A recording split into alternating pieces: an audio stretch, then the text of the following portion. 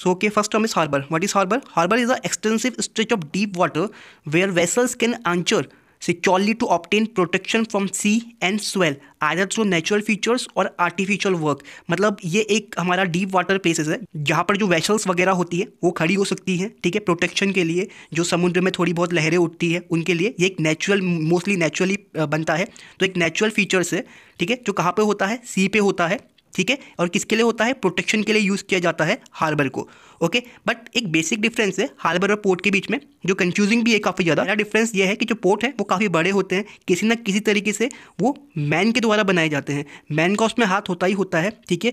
ये हमारे commercial use में काफ़ी ज़्यादा आते हैं, ठीक है? कॉमर्शियल में या कॉमर्शियल यूज़ में जैसे ट्रेड वगैरह में काफ़ी सारे आते हैं। जैसे हमारा लोडिंग हो गया अनलोडिंग हो गया कार्गोज पैसेंजर्स और anything like that which generate a revenue okay जहाँ से पैसा आ रहा है तो पैसा आ रहा है, तभी हमने पोर्ट बना रखा है राइट इन्वेस्ट कर रखा है पोर्ट में। बहुत बड़े होते हैं, बहुत लार्ज स्केल में वर्क करते हैं पोर्ट।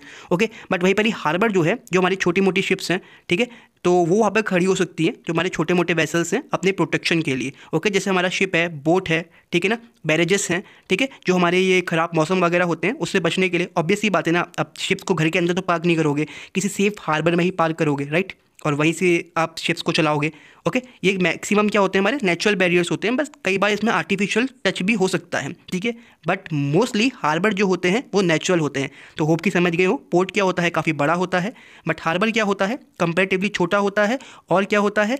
जो हमारा इकोनॉमिकल एक्टिविटी है, वो पोर्ट में ज़्यादा होती है। पोर्ट में बहुत ज़्यादा होती है, इसीलिए पोर्ट को ह्यूमन बींग बनाता है, ठीक है? बट हार्बर क्या है? मोस्टली नेचुरल मेड होते हैं, ठीक है? तो ये हमारा डिफरेंस था पोर्ट और हार्बर के बीच में।